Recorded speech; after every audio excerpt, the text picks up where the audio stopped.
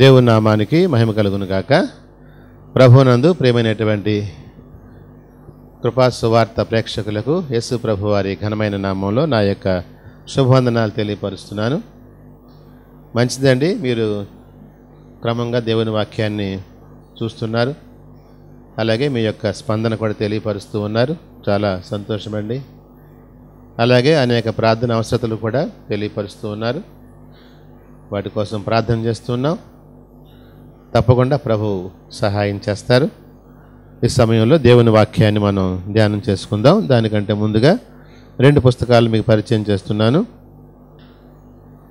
మనకు సమీపముగా ఉన్న దేవుడు ఈ పుస్తకం అనేక ఆత్మీయ సందేశాలతో ఉన్న పుస్తకం అది.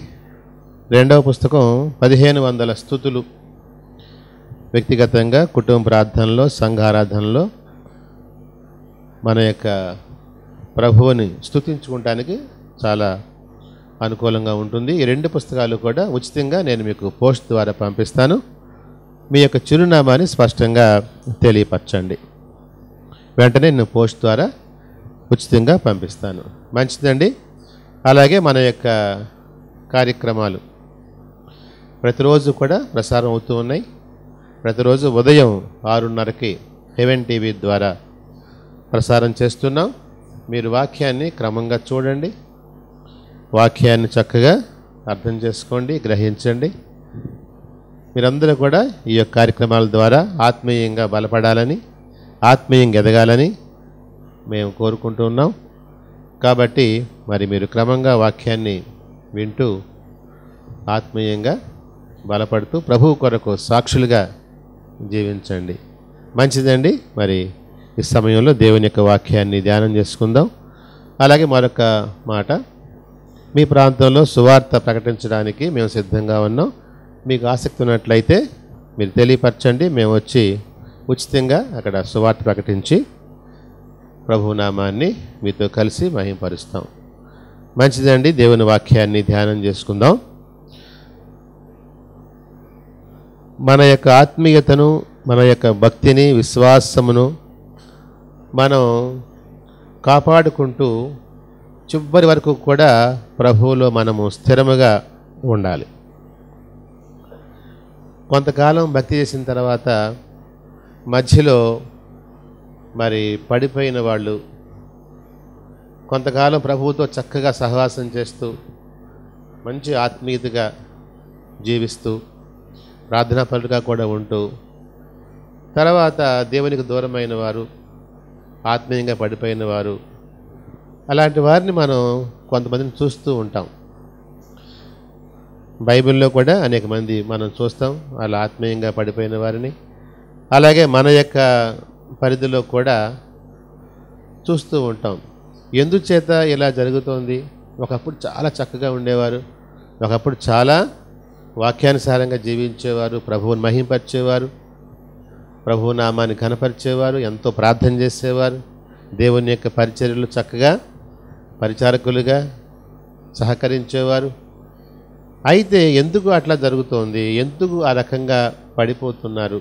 అనే విషయాన్ని మనం ఆలోచన చేస్తే దానికి ఒక కారణం ఏమిటంటే మనము దేనికి దూరంగా ఉండాలో వేటికి దూరంగా ఉండాలో వాటికి దూరంగా లేకపోవటం చేత ఆత్మీయంగా పడిపోవటం జరుగుతూ ఉంటుంది. కాబట్టి ఈరోజు మన అంశం ఏంటంటే దూరంగా ఉండాలి. వేటికి మనం దూరంగా ఉండాలి. ఆ విషయాలు మనం లేఖనాల్లోంచి పరిశీలన చేద్దాం. అలా లేకపోవటం చేత ఆత్మీయులను ఆత్మీయతలోంచి పడిపోవడం జరుగుతూ ఉంటుంది అన్నమాట ప్రియమైన వారులారా మన భక్తి మన విశ్వాసం మనం చివరిదాకా కాపాడుకోవాలి. అంతేకాదు మన తరువాత మన యొక్క మరి పిల్లలు తర్వాత వారి యొక్క పిల్లలు ఇట్లా భక్తి కంటిన్యూ కావాలి.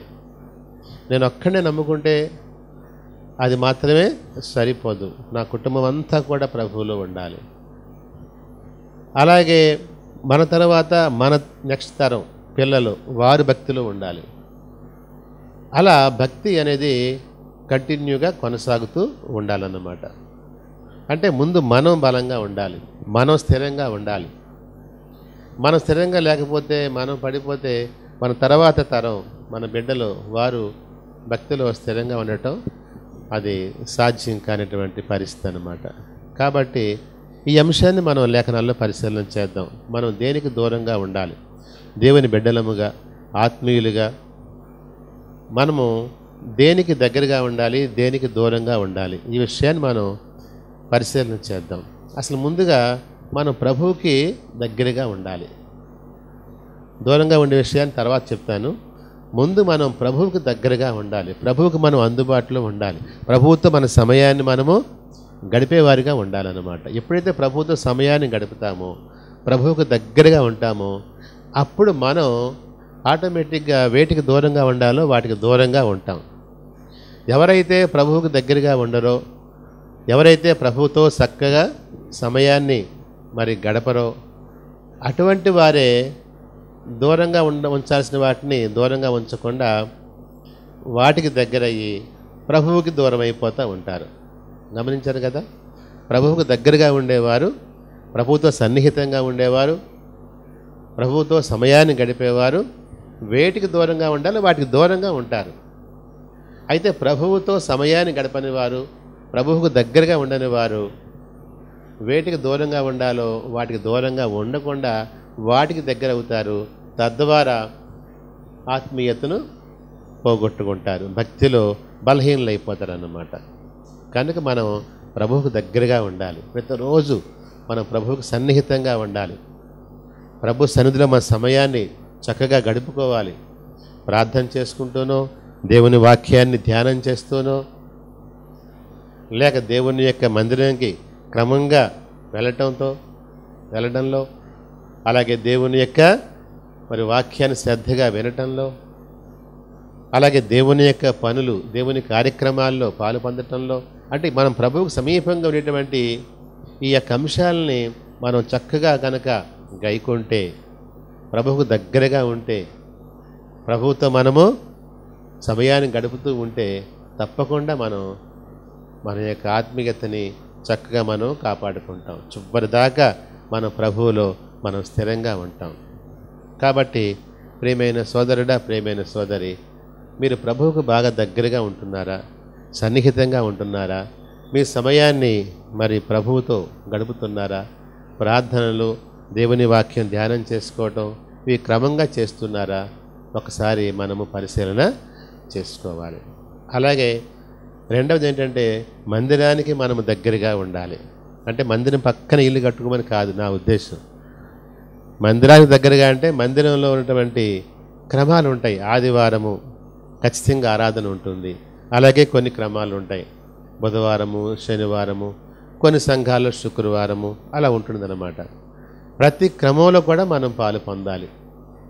మందిరానికి దగ్గరగా ఉంటామంటే దాని అర్థం అదనమాట ప్రతి క్రమంలో పాలు పొందాలి. ఇంక ఇంతకంటే వేరే ముఖ్యమైన పని ఏది కూడా మనకి ఉండటానికి వీల్లేదు రకరకాలుగా చెప్తూ ఉంటారు ఇక. ఎందుకు రాలేదు? ఈరోజు ఆరాధన కంటే ఏదో ఫంక్షన్ అండి వెళ్ళాం. ఎక్కడో వివాహం ఆ కార్యక్రమానికి వెళ్ళాం. ఏదో గృహప్రవేశం వెళ్ళాం అని చెప్తూ ఉంటారు.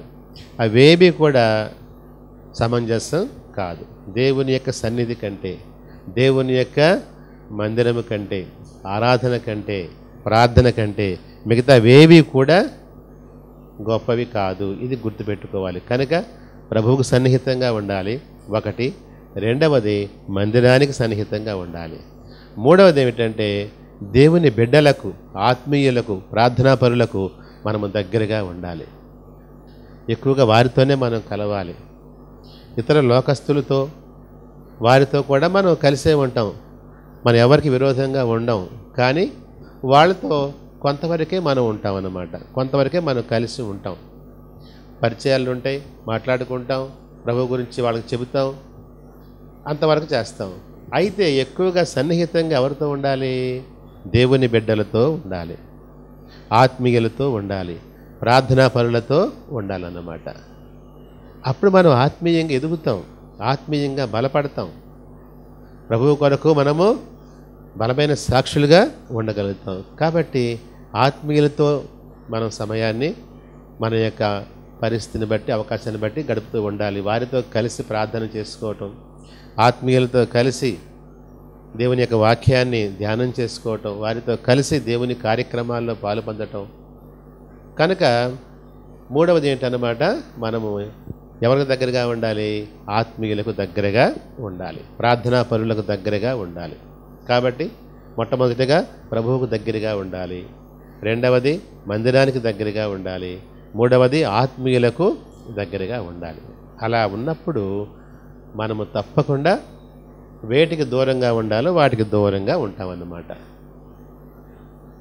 చాలామంది విశ్వాసులైన వారు ప్రభు బిడ్డలుగా జీవిస్తున్న వారు దగ్గరగా ఉండేటటువంటి ప్రభువుకి దగ్గరగా ఉండరు మందిరానికి దగ్గరగా ఉండరు ఆత్మీయులకి దగ్గరగా ఉండరు.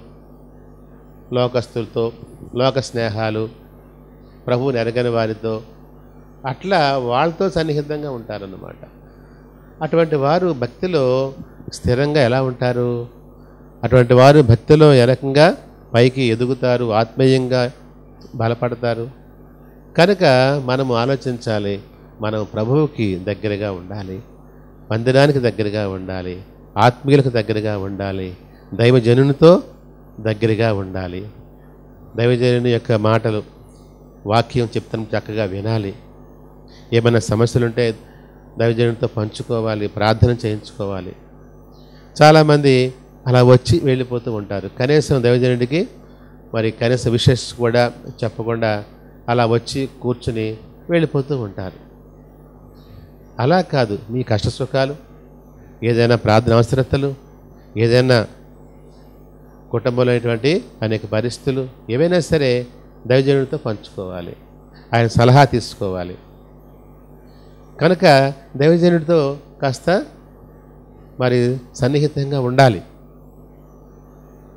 ఇవన్నీ కనుక మనం పాటించినట్లయితే మనం ప్రభువులో మనం చక్కగా ఉంటాం. ప్రభువు కొరకు సాక్షులుగా ఉంటాం. మన యొక్క ఆత్మీయతను మన విశ్వాసాన్ని మన భక్తిని మనము చక్కగా మనం కాపాడుకుంటాం. సరే అలా గనక మనం చేయగలిగితే మనం తప్పకుండా ప్రభు కోసం నిలబడతాం అన్నమాట. ఇప్పుడు మనం వేటికి దూరంగా ఉండాలో అది మనం చూద్దాం. వేటికి దూరంగా ఉండాలి వాటికి దూరంగా ఉండాలి. చూడండి లేఖనాల్లోంచి మీకు నేను కొన్ని మాటలు జ్ఞాపకం చేస్తాను. కొరింతి మొదటి పత్రిక ఆరో అధ్యాయము పద్దెనిమిదవ వచనం. మనం వీటికి దూరంగా ఉండాలి. కొరింతి మొదటి పత్రిక ఆరవ అధ్యాయము పద్దెనిమిదవ వచనం చదువుతాను గమనించండి. జారత్వమునకు దూరముగా పారిపోవుడి.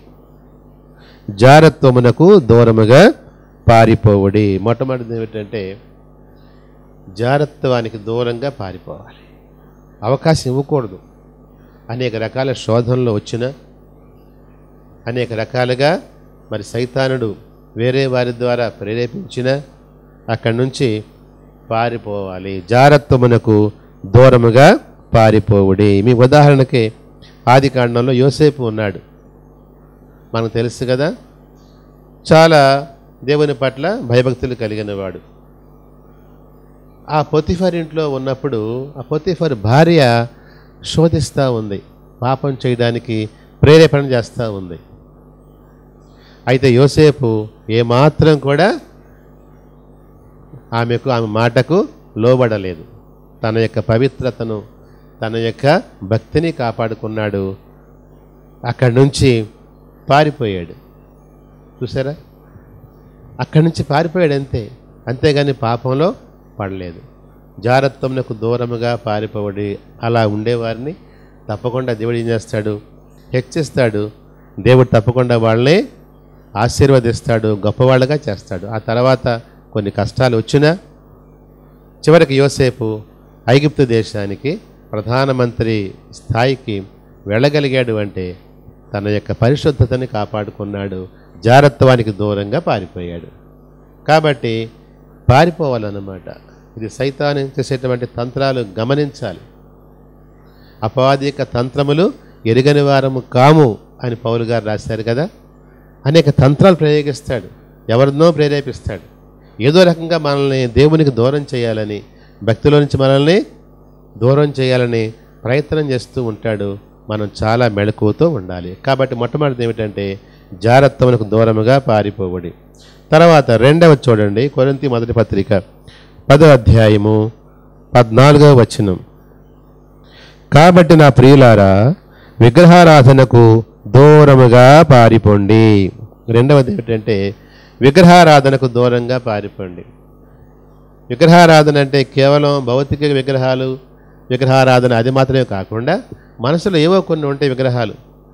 ఏవో కొన్ని వ్యర్థమైనటువంటి అభిమానాలు ఉంటాయి. దేవుని కంటే ఎక్కువగా మనం ఎవరిని ప్రేమిస్తే అది విగ్రహం అన్నమాట. కనుక అలా చేయొద్దు. విగ్రహారాధనకు దూరముగా పారిపోండి అని మన వాక్యంలో మనం చూస్తున్నాం. ప్రభువు కంటే ఎక్కువగా మనకి ఏమైనా దేన్ని ఎక్కువగా ప్రేమించకూడదు. ఎవరైనా సరే ఏ వ్యక్తి అయినా కావచ్చు ఫస్ట్ ప్రాధాన్యత ప్రభువే మనకి. కనుక విగ్రహారాధన దూరంగా పారిపోండి అంటే భౌతిక విగ్రహాలకి ఆరాధన చేయటం పూజించటం అది మాత్రమే కాదు కానీ ప్రభువు కంటే ఎక్కువగా మనం ప్రేమిస్తే ఎవరినైనా ప్రేమిస్తే దేనైనా ప్రేమిస్తే అది విగ్రహం అయిపోతుంది అలా కాదు. విగ్రహారాధకు దూరముగా పారిపోండి అని మన వాక్యంలో మనం చూస్తున్నాం. తర్వాత చూడండి. మూడవది. సామెతల గ్రంథం ఇరవయో అధ్యాయము మూడవ వచనం. నేను చదువుతాను గమనించండి. కలహమునకు దూరముగా ఉండుట నరులకు ఘనత. మూడవది ఏమిటంటే కలహానికి దూరంగా ఉండాలి. దేవుని బిడ్డలో సమాధానకర్తలుగా ఉండాలి సమాధాన కారకులుగా ఉండాలి. అస్సలు కలహానికి వెళ్ళకూడదు. కలహమునకు దూరముగా ఉండుట నరులకు ఘనత. కనుక కలహానికి దూరంగా ఉండాలన్నమాట. ఏదో రకంగా ఎవరో వస్తారు ఏదో పేచీ పెట్టుకుంటారు ఏదో గొడవకు వస్తారు. మనం ఎంత జాగ్రత్తగా ఉన్నా మనం ఎంత మంచిగా ఉన్నా అలా వచ్చేవాళ్ళు వస్తూనే ఉంటారు. అయితే మనం చాలా జ్ఞానయుక్తంగా మనం చక్కగా మనము వారి ఎడ్ల ప్రవర్తించాలి. సాధ్యమైనంత వరకు మనము కలహానికి దూరంగా ఉండాలి. ఇది మూడోదనమాట తర్వాత నాలుగవ చూడండి. ఇదే సామెత గ్రంథం నాలుగవ అధ్యాయము ఇరవై ఏడవ వచనం. నాలుగు ఇరవై ఏడు. నీవు కుడి తట్టుకైనను ఎడమ తట్టుకైనను తిరగకము. నీ పాదమును కీడునకు దూరముగా తొలగించుకునము. కీడునకు దూరంగా ఉండాలి. మనం దేవుని బిడ్డలం. ప్రభువుల విశ్వాసం ఉంచిన వారం. కాబట్టి మనం ఇతరులకు మేలు చేయాలి కానీ ఇతరులకు మనము కీడు చేసేవారుగా ఉండకూడదు. కీడునకు దూరముగా నీ పాదమును తొలగించుకొనుము అన్నాడు. కాబట్టి మనము సాధ్యమైనంత వరకు ఇతరులకు మేలు చేయాలి. ఒకవేళ మనకు ఎవరైనా కీడు చేశారనుకోండి తిరిగి ప్రతి కీడు చేయకూడదు. అదే క్రైస్తవ్యం అదే ప్రభు బోధించారు. కాబట్టి కీడు చేసినా మనం ప్రతి కీడు చేయకూడదు. కీడుకు దూరంగానే ఉండాలి. ప్రభు చూసుకుంటారు. ప్రభు న్యాయవంతుడు. ఆయనే తీర్పు తీరుస్తారు. మన మట్టుకు మనము కీడుకు దూరంగా ఉండాలి. సాధ్యమైతే సాధ్యమైనంత వరకు ఇతరులు మనం మేలు చేసేవారిగా మనం ఉండాలి. కాబట్టి ప్రభు అని ప్రేమైన వారులారా మనం ఎవరికి దగ్గరగా ఉండాలి? దేనికి దగ్గరగా ఉండాలి? అలాగే వేటికి దూరంగా ఉండాలి? ఈ అంశాన్ని మనం ధ్యానం చేస్తూ ఉన్నాం. ఆత్మీయతలో ఇది చాలా ముఖ్యమైనటువంటి అంశం అన్నమాట. ఎవరికి దగ్గరగా ఉండాలో వారికి దగ్గరగా ఉండాలి. వేటికి దూరంగా ఉండాలో ఎవరికి దూరంగా ఉండాలో వారికి దూరంగా ఉండాలి. ఈ యొక్క సూత్రాన్ని గమ పట్టుకుంటే అటువంటి వారు భక్తిలో ఎదుగుతారు ఆత్మీయంగా బలంగా ఉంటారు. తర్వాత చూడండి మరొక మాట కూడా మీకు నేను జ్ఞాపకం చేస్తున్నాను. తిమోతి మొదటి పత్రిక ఆరో అధ్యాయము ఇరవై వచనం. తిమోతి మొదటి పత్రిక ఆరవ అధ్యాయము ఇరవై వచనాన్ని నేను చదువుతాను. గమనించండి. ఓ తిమోతి నీకు అప్పగించబడిన దానిని కాపాడి అపవిత్రమైన ఒట్టి మాటలకును జ్ఞానమని అబద్ధముగా చెప్పబడిన విపరీత వాదములకును దూరముగా ఉండము. వాదాలకు దూరంగా ఉండాలి. విపరీత వాదాలకు దూరంగా ఉండాలి. ఈనాడు క్రైస్తవ్యంలో అనేక రకాలైనటువంటి బోధలు ఉన్నాయి. అనేక రకాల సిద్ధాంతాలు ఉన్నాయి. ఇది మా సిద్ధాంతమే కరెక్ట్ అంటారు. ఇంకొక ఆయన వచ్చి మా సిద్ధాంతం కరెక్ట్ అంటారు. అయితే వేటి గురించి కూడా వాదం పెట్టుకోవటం పెట్టుకోకూడదు వాదించకూడదు. ఎవరి సిద్ధాంతం బోధించినా ఒక మాట మాత్రం అందరూ ఒప్పుకుంటారు. ఎస్ ప్రభువే రక్షకుడు. ఇంకా దాంట్లో ఎటువంటి భేదము లేదు. యేసుప్రభు వారి ద్వారానే పరలోకానికి వెళ్తాము. యేసుప్రభు వారు మాత్రమే మనకు పాప క్షమాపణ ఇవ్వగలరు. మన కోసం ఆయనే ప్రాణం పెట్టారు. ఆయనే రక్షకుడు. తిరిగి ఆయన పునరుద్ధరణే లేచారు. ఆయనే రక్షకుడు. కాబట్టి ఈ విషయంలో ఎటువంటి వివాదం ఉండదు. కాకపోతే ఇంకేవేవో కొన్ని పెట్టుకుంటారు. సిద్ధాంతాలని లేక మా మా యొక్క డినామినేషన్ మంచిదని గొప్పదని. అటువంటి గొప్ప తక్కువ అనేటువంటి భేదాలు ఉండకూడదు. వాదాలు అసలు ఉండకూడదు. కొంతమంది వాదిస్తూ ఉంటారు రండి వాదం చేద్దాం నాతో వాదించండి.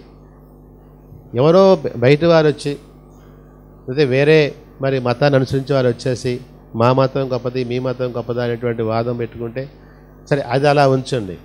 వాళ్ళతో కూడా వాదం పెట్టుకునే అవసరం లేదు. మనం చెప్పాల్సింది చెబుతాం అంతవరకే. యేసు ప్రభు వారే రక్షకుడు. ఆయనే మన పాపాలు పరిహారం చేయగలిగిన వాడు. ఆయన ద్వారానే పరలోకానికి వెళ్తాము. ఆయనే మన కోసం ప్రాణం పెట్టారు. ఆయన తిరిగి లేచారు. చెప్తాం అంతవరకైనా వాదం పెట్టుకోవాల్సిన అవసరం లేదు. అది అలా ఉంచండి. క్రైస్తవ్యంలోనే వాదాలు ఎక్కువైపోతున్నాయి ఈ దినాల్లో. క్రైస్తవుల్లోనే వాదాలు. క్రైస్తవ మరి బోధకుల్లోనే రకరకాల వాదాలు రావటం చాలా బాధాకరం. కనుక ఇక్కడ పౌలుగా రాస్తున్నారు తిమోతికి. తిమోతి ఇటువంటి వాదాలకి దూరంగా ఉండు. ఇటువంటి వాదాల జోలికి వెళ్ళొద్దు. నీ మట్టుకు నువ్వు జాగ్రత్తగా ఉండు. ఈ మధ్య ఒక ఆయన చెప్తున్నాడు టీవీలో కయ్యేందుకు భార్య ఎలా వచ్చింది తెలుసా మీకు? నేను చెప్తాను రండి అంటున్నాడు. కయ్యేందుకు భార్య ఎలా వచ్చిందో ఎందుకు వచ్చిందో ఎవరో తెలుసుకోవాల్సిన అవసరం మనకు లేనే లేదు. ప్రభువారు ప్రశ్నించరు కయ్యని భార్య ఎవరో చెప్పు అలా చెప్తేనే నీకు పరలోకం ఉంది. లేకపోతే లేదని అనరు. నువ్వు మారు మనసు పొందావా రక్షణ పొందావా జీవితాన్ని మార్చుకున్నావా అని ప్రభు అడుగుతారు కానీ కయ్యని భార్య గురించి చెప్పు అని అడగరు. ఏమిటంటే వాదం అన్నమాట. అలా వచ్చిందా? అది కాదు ఇది కరెక్టు. అక్కడ అలా ఉంది బైబిల్లో ఇక్కడ ఎలా ఉంది? ఏం దేనికి వచ్చిన వాదాలు ఇవన్నీను? కనుక ఆ వాదాలకు దూరంగా ఉండాలి. అలా వాదం పెట్టినవారు ఉన్నారు. క్రైస్తవ్యంలో ఉన్నారు. అటువంటి వాద పెట్టే వాళ్ళకి మనం సాధ్యమైన దూరంగానే ఉండాలన్నమాట. బాబు వాదాలతో పని లేదు. భక్తి మారు మనస్సు నీతి యథార్థత ప్రార్థన పరిశుద్ధత ఇవి ఇవి నేర్చుకోవాలి. అంతేగాని వాదాలు పెట్టుకొని అక్కడ అలా ఉంది ఇక్కడ ఎలా ఉంది నీ తప్పు తప్పు నాది రైటు ఇటువంటి వాదాలకు దూరంగా మనం ఉండాలన్నమాట. కాబట్టి ప్రేమైన వారులారా భక్తిలో మనము చాలా వాటికి ఇటువంటి వ్యర్థమైన వాటికి మనం దూరంగా ఉండాలి. తర్వాత చూడండి ఇంకొక మాట కూడా మీకు నేను జ్ఞాపకం చేస్తాను. రోమపత్రిక పదహారవ అధ్యాయము పదిహేడవ వచ్చను రోమపత్రిక పదహారవ అధ్యాయము పదిహేడవ వచ్చను చూడండి. దీనికి కూడా మనం దూరంగా ఉండాలి. సహోదరులారా మీరు నేర్చుకొనిన బోధకు వ్యతిరేకముగా భేదములను ఆటంకములను కలుగచేయు వారిని కనిపెట్టి ఉండుడని మిమ్మల్ని బతిమాలు కొనుచున్నాను వారిలో నుండి తొలగిపోవడి. చూసారా మీలో కొంతమంది భేదాలు కలిగించేవారు ఉంటారు. విభేదాలు అన్నమాట భేదాలు ఆటంకాలు కలిగిస్తూ ఉంటారు. వాళ్ళ తప్పు ఇది రైటు అది అది- కరెక్ట్ కాదు అనేసి భేదాలు అన్నమాట. ఈ భేదాలు పెట్టేవాళ్ళు ఉంటారు గొడవలు పెట్టేవాళ్ళు ఉంటారు కుటుంబాల్లో భేదాలు పెట్టేవాళ్ళు ఉంటారు సంఘంలో భేదాలు పెట్టేవాళ్ళు ఉంటారు. సంఘాలని మరి చీల్చే వాళ్ళు రకరకాలుగా ఉంటుంటారు. ఈ భేదాలు పెట్టే వాళ్ళకి నువ్వు దూరంగా నీవు ఉండాలి. చూసారా ఐక్యత మనకు కావాల్సింది. ప్రభు కోరేది ఐక్యత. ఈ భేదాలు విభేదాలు గొడవలు ఇదంతా సైతాను యొక్క పని అన్నమాట. కనుక అటువంటి వారికి దూరముగా ఉండుము అన్నాడు. కనుక మనము దేవుని వాక్యాన్ని ధ్యానం చేస్తున్నాం. ఎవరికి దగ్గరగా ఉండాలో వారికి దగ్గరగా ఉండాలి. వేటికి దూరంగా ఉండాలో వాటికి దూరంగా ఉండాలి. చివరిగా ఇంకొక మాట నేను జ్ఞాపకం చేస్తాను. చూడండి. యోగ గ్రంథం ఇరవై రెండవ అధ్యాయము ఇరవై మూడవ వచనం. యోగ గ్రంథము ఇరవై రెండవ అధ్యాయము ఇరవై మూడవ వచనాన్ని నేను చదువుతాను. గమనించండి.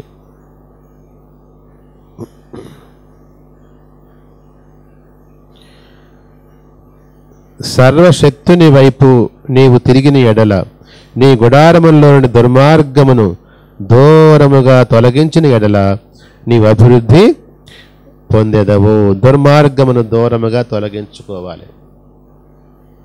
చూసారా మనం దేవుని బిడ్డలం మనం దేవుని యొక్క పిల్లలం. కనుక దుర్మార్గత దుష్టత్వం చెడు వాటికి దూరంగా ఉండాలన్నమాట. కాబట్టి మన దేవుని వాక్యాన్ని ఈరోజు ధ్యానం చేస్తున్నాం. అంశం ఏంటన్నమాట? ఎవరికి మనం దగ్గరగా ఉండాలో వారికి దగ్గరగా ఉండాలి. వేటికి దూరంగా ఉండాలో వాటికి దూరంగా ఉండాలి. జాగ్రత్తవానికి దూరంగా పారిపోమన్నాడు. విగ్రహారాధనకు దూరముగా పారిపోండి. వివాదాలకు దూరంగా పారిపోండి. కలహానికి దూరంగా పారిపోండి. అవకాశం ఇవ్వకూడదు. అలాగే మరి ఇతరులు ఉంటారు. మనకు తెలిసిన వారు బంధువుల్లో ఉంటారు. దేవుని ఎరగని వారు ఉంటారు. వారికేం దూరంగా ఉండాల్సిన పని లేదు. వారితో మంచిగానే ఉండొచ్చు సత్సంబంధాలు కొనసాగించుకోవచ్చు. అయితే సహవాసం మాత్రం చేయకూడదు ఆత్మీయులతో సహవాసం చేయాలి.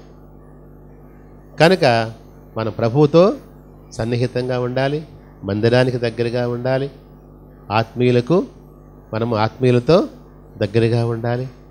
అప్పుడు మనం భక్తిలో మనం స్థిరంగా ఉంటాం.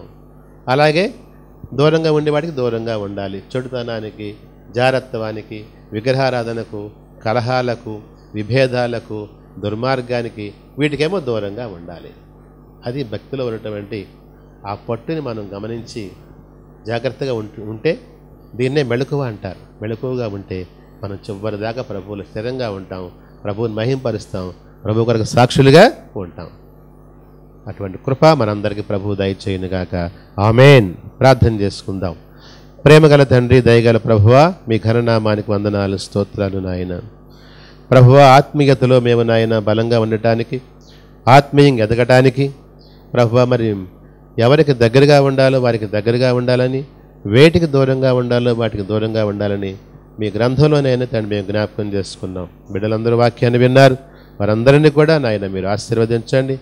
విన్న వాక్యాన్ని వారి హృదయాల్లో ఫలింప చేయండి ప్రతి కుటుంబాన్ని దీవించండి నాయన. ఆ కుటుంబంలో ఏమైనా సమస్యలు ఉంటే ప్రభు మీరు తీర్చండి. ఎవరైనా బలహీనలు ఉంటే బలపరచండి. అందరికీ మంచి ఆరోగ్యాలు దయచేయండి. అన్ని విషయాల్లో ఆ కుటుంబాలను ఆశీర్వదించండి. బిడ్డలందరూ కూడా క్రమంగా వాక్యాన్ని వింటూ ఆత్మీయంగా బలపడుతూ ఆత్మీయంగా ఎదుగుచు మీ కొరకు బలమైన సాక్షులుగా ఉండాలని వారి కోసం ప్రార్థన చేస్తున్నాను తండ్రి. మీరు కనికరించండి కృప చూపించండి. సహాయం చేయండి. మీరే ఘనత మహిమ ప్రభావాలు పొందుమని ప్రభువైన అయిన యేసు బట్టి స్తుతించి ప్రార్థించి వేడుకొనుచున్నాము తండ్రి.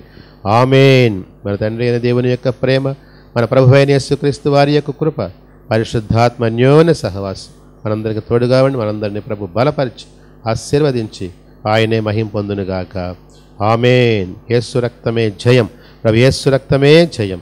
ప్రభు యేసు నామమునకు సంపూర్ణ విజయం కలుగునుగాక. ఆమెన్. దేవునికి స్తోత్రం. అందరికి వందనాలండి. అన్నీ సాధ్యమే. యేసుకు అన్నీ సాధ్యమే.